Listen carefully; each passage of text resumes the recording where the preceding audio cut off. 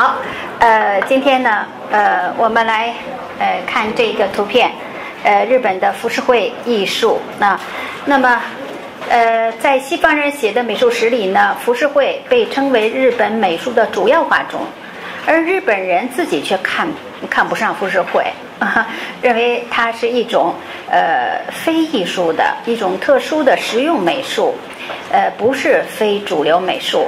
那么，为什么呃那么没有文化自信呢？有这样一个故事，呃，十九世纪后半呢，呃，明治维新了，呃，那么中国呢，呃，已经衰落了。呃，那么在那之前，一直是中国供给呃欧洲三大产品：生丝、瓷器、茶器，呃，茶叶。嗯，那么这时候呢，呃，中国衰败了，然后就日本来顶替。那西方人还喜欢要这三件事儿。那么一些日本的瓷器，呃，就出口到西方。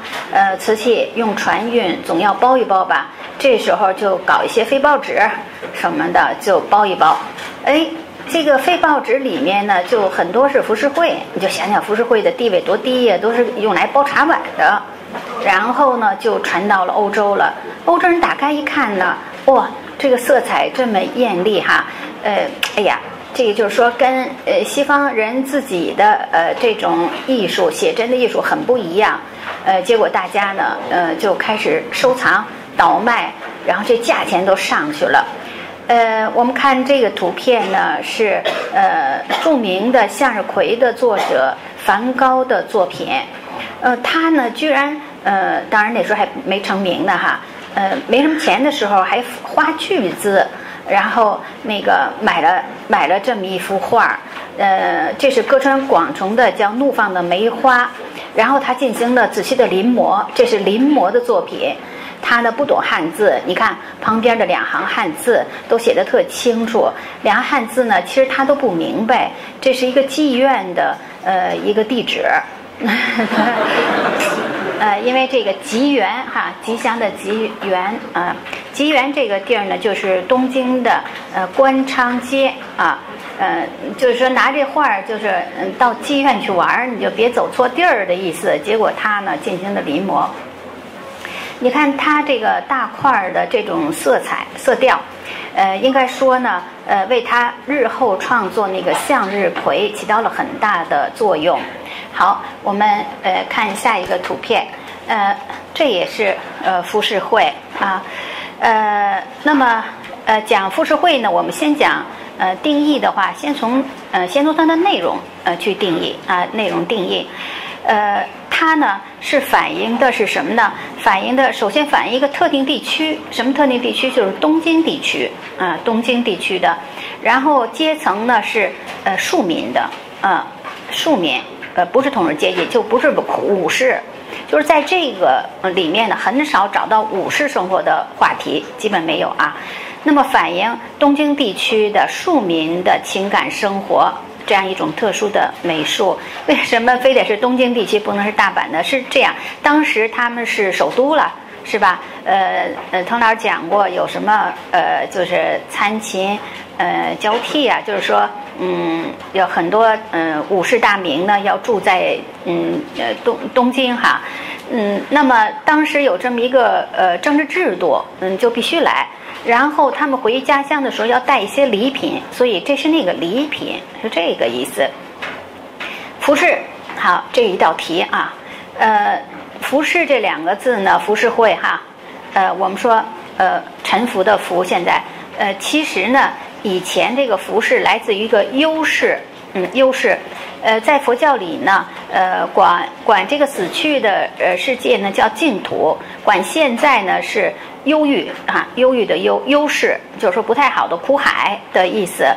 呃，那么呃，十七世纪以后呢，呃，虽然佛教仍然在日本的文化中占有主流，但是人们觉得呢，呃，现在是苦海这事儿很难呃理解了。那么日本是社会安定，呃，商品繁荣，呃，挺不错的，安居乐业，所以人们对于福优势的看法就发生了转变。乐在当下了啊，所以呢，就把这个呃优势变成了服饰。服饰是什么意思？时尚当今时尚的意思。比起理理想的彼岸来说，现今的此岸更应得到重视，更加完，更加美好。所以浮世绘在这种社会背景下呢，就诞生了。呃呃，所以呢，它呃，由于它的这个嗯社会背景的原因。呃，使得他的作品呢，都是一些赶时髦的话题，嗯，和和这个内容哈，描写的都是当时最流行的社会事项，啊，流行的服装、流行的发饰啊什么的，就这样。然后在制作手法上也不断的追求新的方法。那么刚才说这个服饰会的内容是东京的庶民的，其实呢，再给它定义一点儿的话呢，细一点的话，它是一个，呃，崇拜。享乐主义的人生观的，充满好色淫乐内容的流行时尚，还不是一般的流行时尚，啊，咱们现在有很多流行时尚，咱们见社会上当志愿者是流行时尚哈，啊，觉得很时髦，当实验者这这是一个正面的。那么还有一些不正当的一些个呃流行时尚哈，呃，尤其是网络上有些不好的东西什么的，它指的是这一些，呃，那么呃。我们说，在江户时代呢，人分四等啊，士农工商，呃，那么呃，就是说，还是这个这个作为武士的士哈，他统治着其他的三个阶层，呃，管得非常的严。但是作为最下层的呃这个丁人、商人，还有一些通过努力劳动的一些工匠，呃，都发了财了啊，身就是说有钱。呃，那么这些人感到呃没有什么社会地位，呃，所以呢，他们呃比较郁闷，呃，他们能够用钱来买高兴的地儿呢，一个是花柳街，呃，还有一个看戏戏院、看歌舞伎什么的这些地方，呃，在那些地方呢，释放不满的情绪，舒展人性的本真，哈，呃。呃，那么还有一个呃原因呢，就是说，呃，日本的这种参勤交替的政治制度呢，呃，使得京都呃东京呢，呃，里面呢就聚居了很多武士，这些武士呢，就是咱们说驻京办事处吧，这种。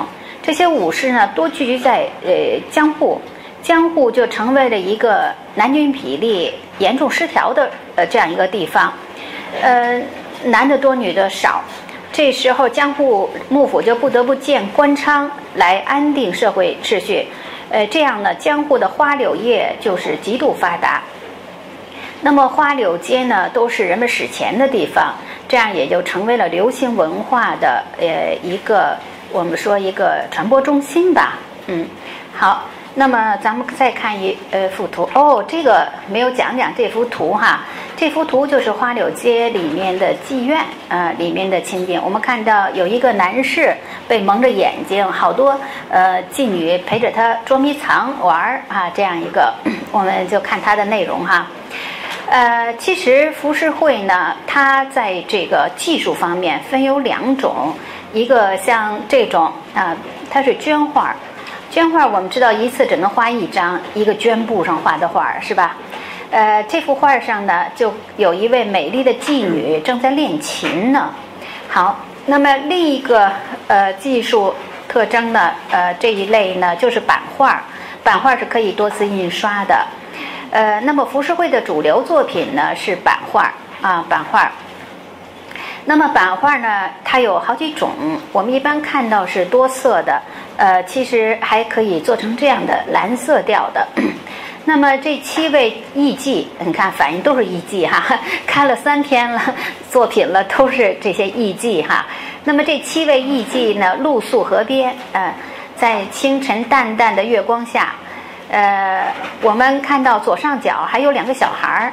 呃，这个小孩儿呢，就是比例呢，呃，不太对，是吧？只不过是把七等份的呃人呢画的很小了，呃，就是这显示了东方美术的缺陷哈。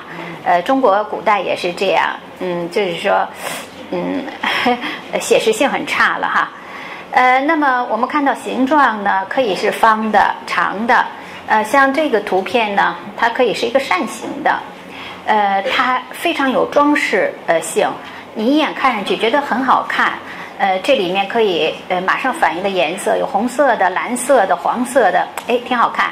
仔细看才能关心到，哦，它们是由七只鸡来组成的，啊，其实它呢就是说很有装饰性。嗯，因为这些作品拿回家乡呢，都得贴在墙上什么的啊，贴在那个纸格扇上什么的哈，呃，这样的。呃，那么我们看到这幅作品哈，呃，咱们现在说吃苹果吃红富士的，这红富士的名字就来自这幅画儿。呃，就说呀，嗯，有一个风景作家叫葛饰北斋。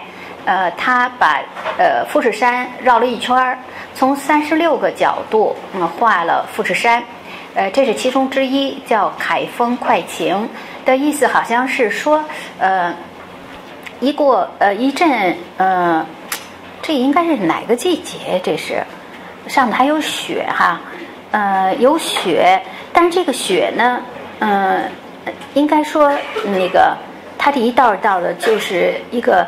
呃，火山熔岩，然后留下来的时候，那些个我们叫小山谷吧，这样哈，它还不是正正式的冬天。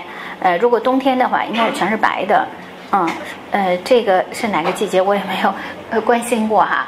呃，那么呃，它是被太阳、被阳光，应该是晚霞或者朝霞，然后把它给就是照得非常的红。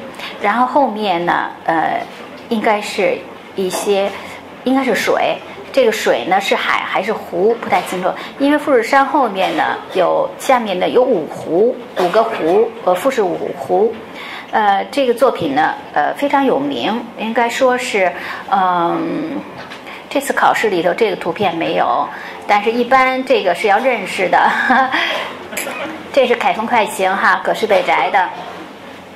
我们这回呢，他的作品里面出来一幅葛饰北斋的，但不是这个作品，呃，这个叫红富士啊，嗯，这红富士哈，这是日本人给他的爱称吧，呃，不过这样的红富士看上颜色比较简单，但是十三次反复叠印才能完成，嗯，那浮世绘的版画的制作呢？呃，有一个特点，就是说它跟普通的绘画作品不一样。你比如说，咱们说齐白石的画，呃，那齐白石画虾米，那齐白石画那个抖抖那两下子很重要，所以呃呃，就是齐白石最重要的画家了哈。或者是徐悲鸿的马，呃，他那个马跑起来那种哈，那种角度啊，或者尾巴怎么飘动很重要。呃，所以大家很认识这些呃有名的作家，但是浮世绘的作家却不是那么被人们所这个称道。为什么呢？因为他这个呃，只是一个制作全过程的一个启迪稿的人。嗯，他搞完以后，是不是还得有人雕版呢？还有印刷呀？呃，甚至在开始大伙都在得卖出去啊。呃，所以基本上就是说，嗯，设计图、嗯，方案什么的，他不是嗯。呃，不是画家内心的呃艺术冲动的表现哈，呃，往往是呃印刷公司说咱们搞这么一个图案吧，这图案可能卖得出去或者怎么样哈，呃，所以他的出版商呢是非常重要的，就是作为画家本人的呃怎么怎么艺术才华呀什么什么的，这个不是特别呃重要，呃，他呢呃重要的主要的用途就是被当做一种旅游纪念品。呃，到江户游玩的地方人士把它买回家，呃，向家乡的人们展示他们在呃江户的所见所闻，相当于现在的照片儿吧。啊，好，我们看下一个图片。呃，十七世纪八十年代，日本江户幕府的政治统治进入了绝对的稳定期，称叫元禄时代。嗯，元禄时代。呃，那么。呃，曾经被贬为文化沙漠的江户，出现了不同于京都皇家文化的呃文化。那么这种文化的特点是什么呢？它就是表现商人庶民的追求金钱享乐欲望的这样的市民文化。呃，其热潮的这个弄潮儿是谁呢？就是井原西鹤，就是这位老爷爷。呃，他呃生活在一六四二年到一六九三年。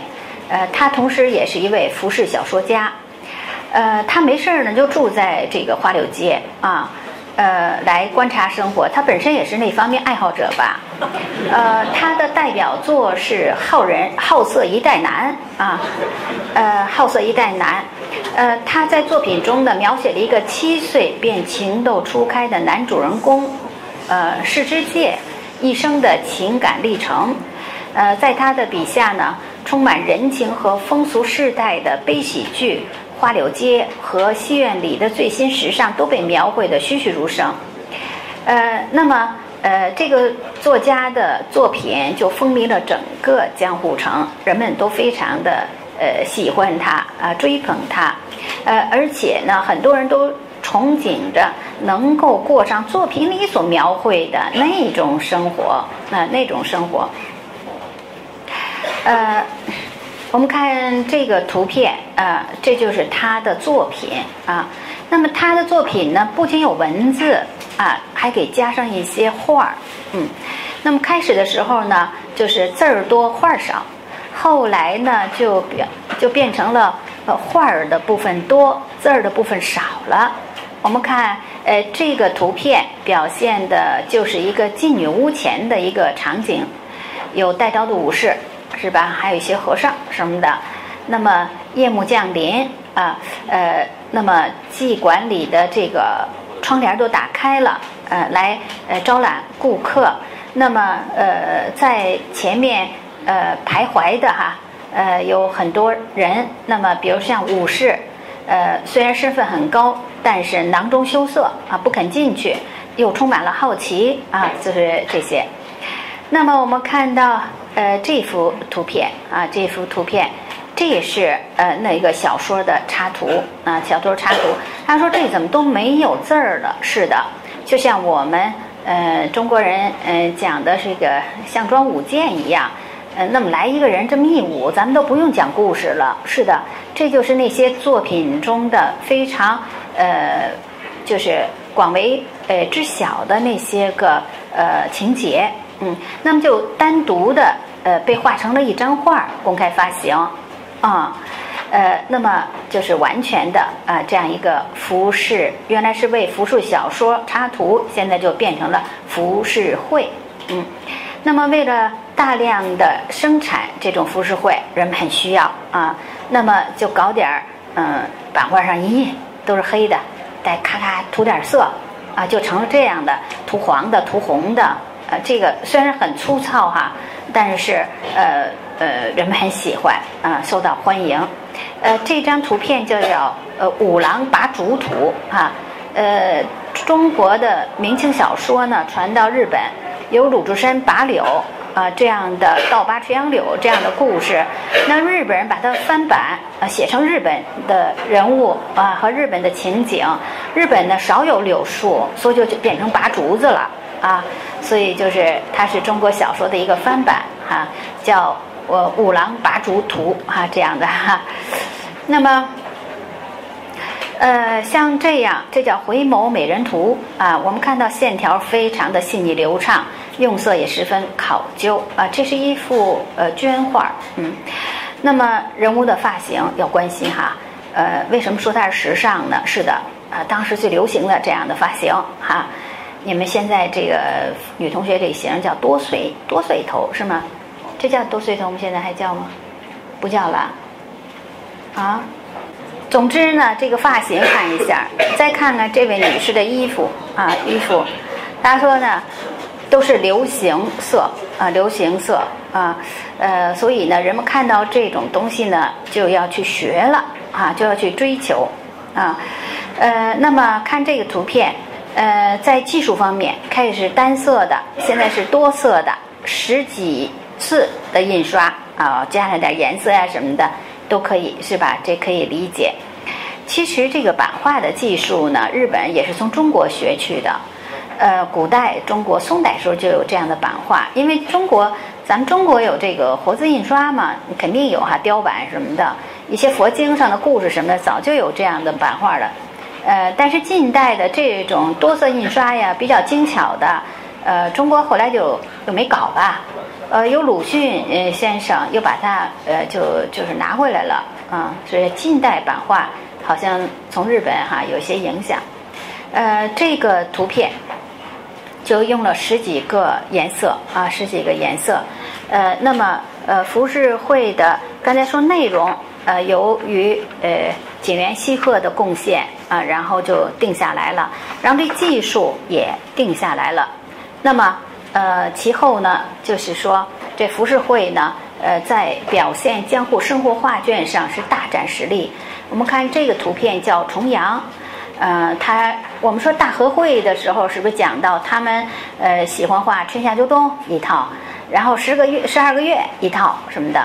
这个就是十二个月一套，十二个月风俗志中的第九个月吧，叫重阳啊。你们看，呃，他那个上边啊，好像是重阳节赏菊喝酒是吧？啊，赏菊喝酒。那么下面呢，好像是两个人搬菊花哈，这样哈都有了。呃，那么大家说这怎么细长细长的？是的，这是为了配合老百姓家里的挂画的环境。那么日本的呃这个房屋哈，呃它都是一些可拆卸的，就是呃什么什么章叫章子，然后叫什么这些，嗯，固定的墙特别少，老百姓的。但是房中间呢有个大柱子啊，呃这种尺寸呢是可以贴在柱子上的啊。这叫桥下凉船，描绘了江户市民在盛夏里在船上乘凉游宴的一个情景。那么，呃，夜幕里的银光，嗯，描绘了江户市民夏季的夏季的夜晚在河边捕萤火虫的生活场面。出门啊，反映了冬季里一位瓷器店的女子踏雪出门的情景。那么。呃，画的作者呢，呃，你们看呢，都是一些老百姓的生活，但是好像这些个人物呢，嗯，本来是普通人，普通人家的女子，呃，但是他们梳的发型，呃，都非常的时髦，都是妓女的那种发型哈，呃，他们的鞋子都是高跟鞋，哈哈，高底木屐哈，呃，而且其实这幅画宣传的主要是这新款的这个雨伞。这个雨，这个雨伞呢，那时候嗯就传到日本。这个雨伞呢，要要把它撑起来呢，是就是说像蛇的眼睛一样，叫假诺梅哈。当时是一个比较流行的一个物件哈。你看这个厨房里做饭这些女的，也都嗯打扮成像妓女一样的模样哈。厨房里的美人儿哈，有的在吹火添柴，在削萝卜皮的。还有在呃蒯水的，还有在擦碗的什么的哈。你比如这个打年糕，呃，就是呃一般到了呃迎接新年的时候都要打年糕，有在蒸米，有在在打打年糕啊什么的哈。还有揉年糕啊、晾年糕啊，很热闹。呃，但是你看呃每一个人物的呃上面还都有一个小标签儿是吧？标签儿呢，实际上这里写着呃这个人是谁啊？谁谁谁哈？呃，这个人呢？呃，他他就写的这个人，嗯，是这个呃呃猪八戒哈，哈，然后那个人呢就是王菲，然后那个就写着王菲在揉面，你你会你会觉得非常有趣儿哈，然后那个呃还有这个还有什么流行演员呢？我这还哈，你比如说刘德华，刘德华是吧？啊。也刘德华在那个砸年糕，你就会觉得挺有意思的哈。所以他呢，就是嗯，那个标签就都写上这个。其实他就是为了这个，呃，增加这个版画的销量吧，也是这个做了不少文章哈，挺有意思的。再看这个图片，呃，这个图片叫秋草啊，秋草。呃，秋草主要看它的这个时髦的衣服。呃，那时候呃特别流行这种小格子的衣服，为什么呢？嗯，因为那个规定了商人家的妻子、老婆不能穿大花的，就说你们有钱也不能气我们那个呃武士。他武士是这样，武士的工资呢是按照呃粮食呃大米来定的，呃大米定就是说你那工资五斗什么的哈。呃，这开始的时候还是不错的，但后来呢，就商品经济发展以后呢，粮食就掉价了，所以他们呢就钱就少了，钱少了呢，但是呢，因为是统治阶级哈，就不能放下架子，你知道吗？所以就就干扛着。所以说，呃，那武士有时候就得没办法，就得跟这些商人借钱，借借借多了呢，没办法了，然后那个政府就来一道命令，免债。呃，从今从今天七月十一号开始，呃，以前债都算了，哎，搞这么一活动，然后江户时代搞了搞了三几回吧，搞了三回哈。然后这样就给一些武士呢一些喘息的机会，呃，这是一个哈。但是这些武士哈，就是就是下级武士，到明治维新以后就都挺惨的，就说没什么事儿，就是回到乡村，有的都当了农民了，就算了哈。嗯，那么他们这些武士呢，出门的时候呢，一个是梳上那种发型，还得带两个刀，你知道吗？长刀、短刀都得带着，也挺沉的。然后。嗯，就说有那么一句呃俗语吧，就是说，呃，没事儿出门叼着牙签哈，那意思表示自己刚吃过好吃的的意思哈。咱们中国说是用用猪油、有猪皮，然后肉皮擦一擦嘴，有这样的俗语哈。他们就说，嗯，叼一个牙签，日语里都有这样的表示哈。呃，他们比较穷了啊，比较穷了。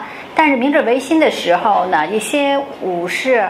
呃，我们二百六十个诸侯吧，二百六十个这样的大名武士，呃，后来嗯，国家就给他们一些兴业的机会。你比如说三陵、三井、祝友，这些都是这些，呃，叫藩主，藩主就是这个诸侯哈，呃的后代，啊，都是这样。所以这个日本的这种真正的日本，应该说滕老师没有进入，就是我没有这样的。朋友，或者说成为这样的人的一个哈，跟他们打交道哈，咱们就是搞学术，就跟一些大学教授来往。其实日本的内幕我根本也没有看到，呃，因为日本的内幕，他们哎，你看这坐着都普通的人，大家都传说他是什么什么旧藩主的孙女儿啊什么的，这种特别多。呃，他们后来明治维新不是四民平等了，没这事儿了，但是他留了一个叫华族。所谓华族呢，呃，中华的华华族，华族就是皇族，呃，那些本来这个士农工商上面就有一个就有一个天皇皇族，那皇族叫，呃，就是皇家系列的也叫华族，这个华族一直留着，啊，一直留着，呃，再说他们还有天皇在，所以他们那一波子人，嗯，我也没接触过哈。呃，是一很大的一波子，那就是日本的，就是内幕。呃，你像什么麻生啊什么的，呃，这些首相他们都不是一般人，呃，都是这些，就是有馅儿的，全都是啊，呃也是非常复杂的。那么通过这图呢，这图我们要讲的就是小格子的花纹的问题。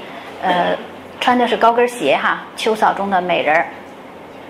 那么是江户时代典型的这种小格子的服装的，所以呃呃，就是说，现在的日本服装也仍然非常素雅，啊，就是他们提倡的那种世界观呢，就是然后看着挺普通的，其实不普通，这是他们很多人追求的一个从衣服上或者做事上什么的，呃，就是这样的哈。那这一位是呃呃。那时候有个习俗，就把牙齿染黑啊，并且以此为美。呃，我觉得把牙齿染黑这个倒是嗯挺符合东方的，因为刷牙这个事儿的确人家西方人做得好，现在也比我们做得好。嗯，所以咱们这个牙可能嗯在古代嗯，咱们现在这牙还都挺黄的呢，就不不太好好刷嘛，同学们。然后那个。呃，刷牙不认真啊，或者我们吃的钙还不够，呃，有很多原因吧。我们的牙齿不够亮，在古代可能更难看，干脆给染黑得了。我看这方法也不错啊。这个女孩呢，就正在染发、染染齿，所以这是一个很时髦的一个活动，就是穷人家可能还没这空呢。那么这一位，呃，他在抓蚊子，你看，呃，抓蚊的方法挺不错的哈。然后用个纸捻儿，嗯，然后点燃，然后蚊子呃就扑火自焚这样的，然后插花儿啊插花儿，然后还有你看点茶茶道，然后呃我们看这个挺有意思的，这一个大美女哈，拿着一个烟袋，是的，那时候抽烟呢是很时髦的习俗，呃，她是通过葡萄牙的游船呃学习了抽烟的习俗，所以呃这个在那个时候是相当相当时髦的，呃，就像你们呃每天手里头，你们现在什么时髦啊？有一个 iPad 是吧？这是一个拿一个那个。小电脑似的那种哈，那个时髦哈，呃，还有什么时髦的呀？现在，啊，还有什么？啊，喝水，哦，喝水时髦，哦，喝的水不一样。哦，喝矿泉水时髦，哦，这样，那我就不时髦了。你看，本来是我是矿泉水的瓶子，我天天就装一点自己喜欢的茶，那肯定是比较比较不时髦哈。哦，是吧？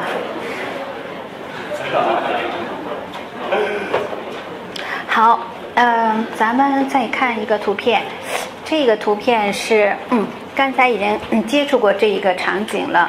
呃，那么花柳街，嗯，呃，它是普通市民呃不好去的地方，呃，那么所以需需要画出来啊，画出来。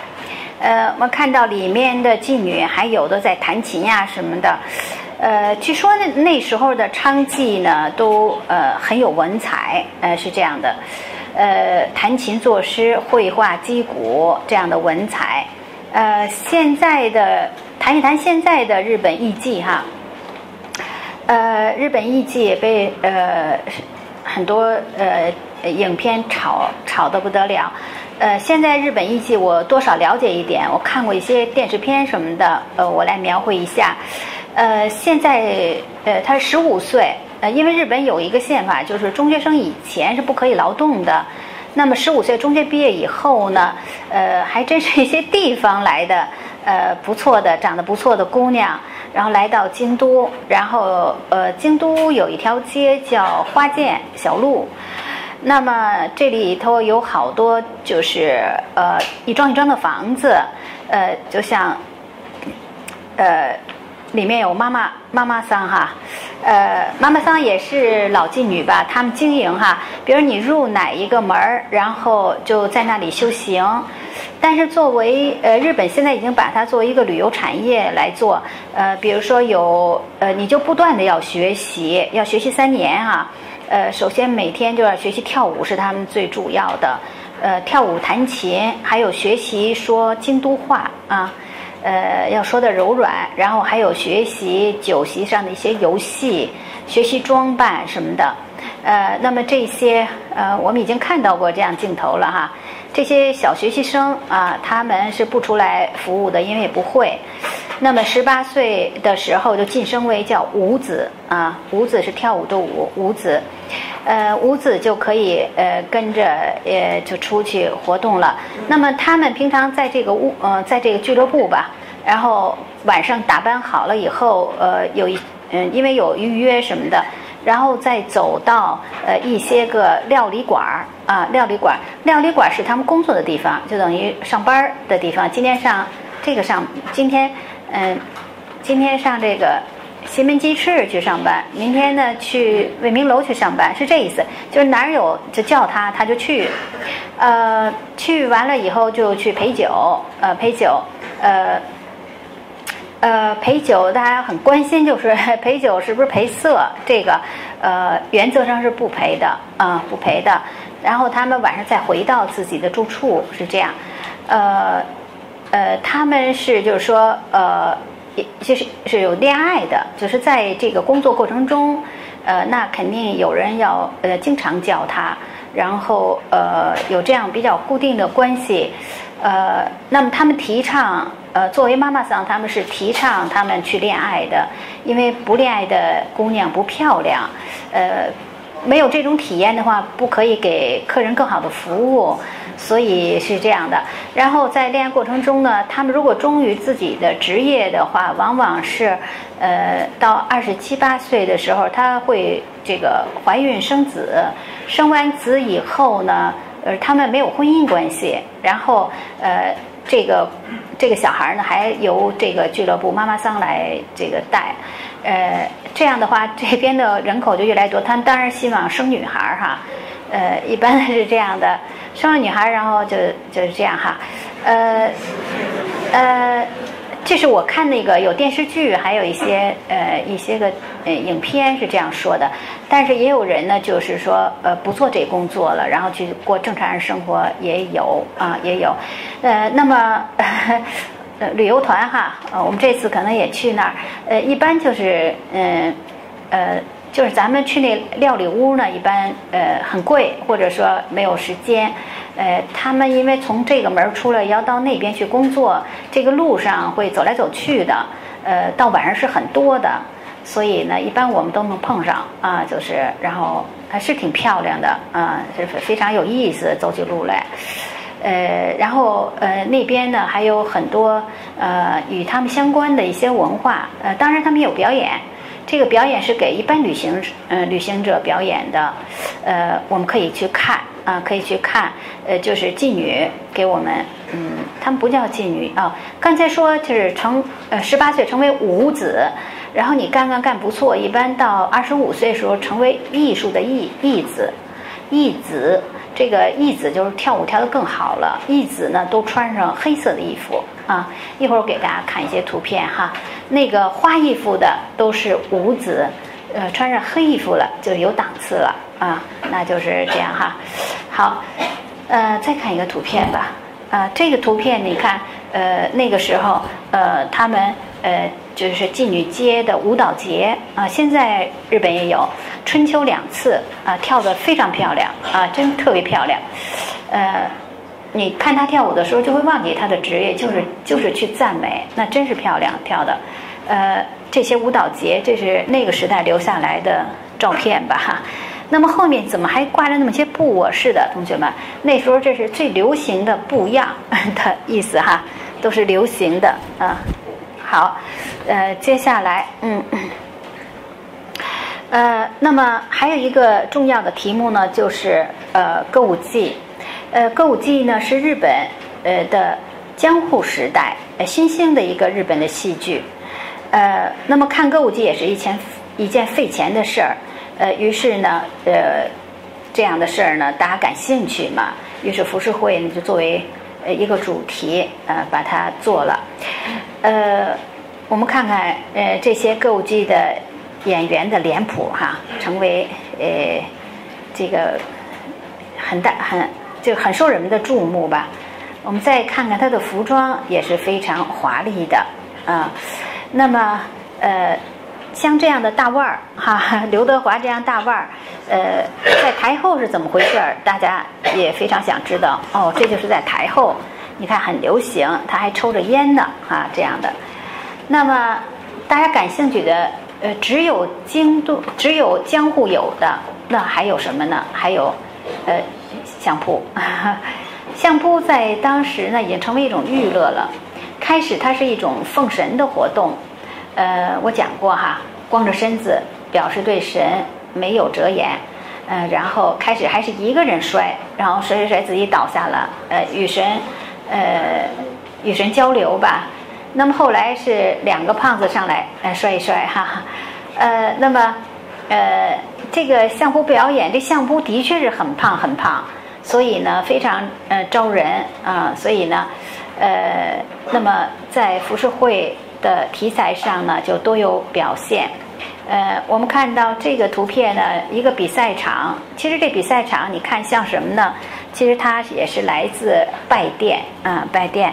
那么两边呢，分成东边、西边，东军、西军，东阵、西阵，叫然后一个一个上来，然后摔跤嗯的意思。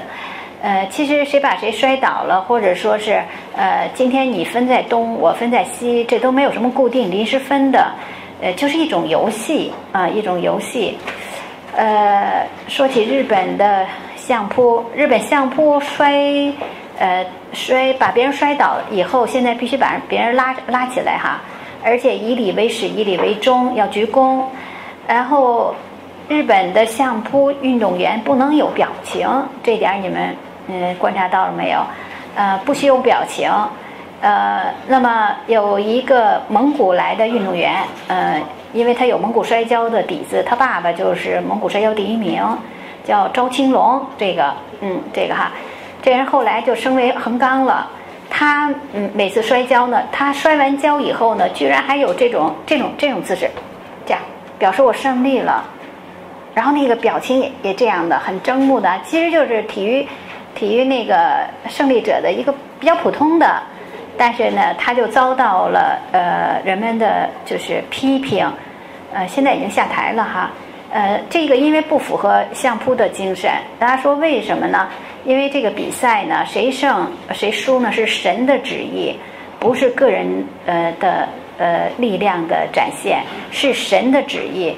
呃，所以呢，就是大家没表情，很有意思，没有表情，也不能高兴，你也不能沮丧。这是他们的纪律，呃，不能在脸上表现出来，更不能用语言辱骂别人什么，这都不可以的，呃，因为这是神的旨意啊，挺有意思的哈，呃，所以他现在呢，神的旨意本来是一种游戏啊，很多呃人呢也说现在把它搞成体育吧，就像拳击一样，搞成什么七十级、七十公斤的、八十公斤的级呀什么的，呃，没有。现在日本的相扑是个大个小，永远在一起摔。外国人现在也进入这个市场，因为可以挣大钱，所以好多外国人的壮汉子全都来了。有欧洲的、夏威夷的，然后那个中国的，还有蒙古的都有啊。大家都在那儿摔，就是谁能摔啊？所以日本人的横纲已经呃很久尾了，没有了。就是很少了，呃，所以横纲就是它有一个级别，一共是八级，最高级那个，嗯，就是说在比赛过程中，如果你能扳倒一个横纲，就可以得一个金星。这个金星呢，行情是五百万日元，五百万日元呢，五八四十，相当于人民币四十四十万吧，啊，就是摔这样哈，就很高的一个奖金。好，这个大横纲呢是呃日本人民心中的明星，他高呃高两米零六吧，这叫大同山。他六岁的时候就居然长这么高啊，基本是一个巨大儿啊。现在还有他的博物馆呢，我还去参观过呢。然后那个脚都特别大，他穿过的鞋什么的，嗯，他是一个大。就出出类拔萃的这样一个大横纲啊，这样一个哈，啊，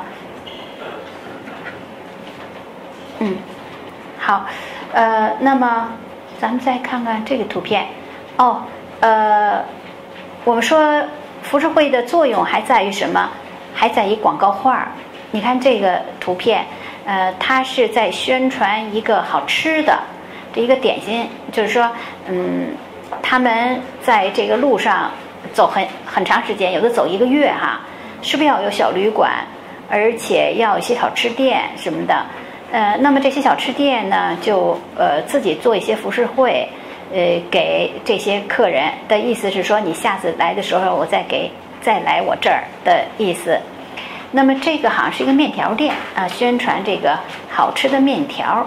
像这个就是一个旅馆，呃，为了招揽生意，呃，特地请浮世绘画家画的这些画儿，呃，你们看到这就起到一个广告的作用，呃，你看这个，呃，你瞧我们家这个旅店多棒，而且能接待大明，你看，你看到没有？大明，这大明，你看，而且大明到哪儿呢，都得把自己那个家的家徽那帐子给支起来。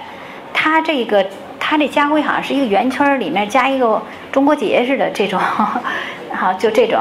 然后你看它旁边的这些随从啊什么的，还有这些行李啊什么的，据说非常有名的大名，他们要走嘛，因为那时候没有车，一直走走走，所以就是连那个呃，就是马桶都要带上，呃，一路上，呃，所以是非常耗财的，呃，但是为了面子，大家都要做得更好一些。嗯，好，我们呃休息一下啊，好，休息一下。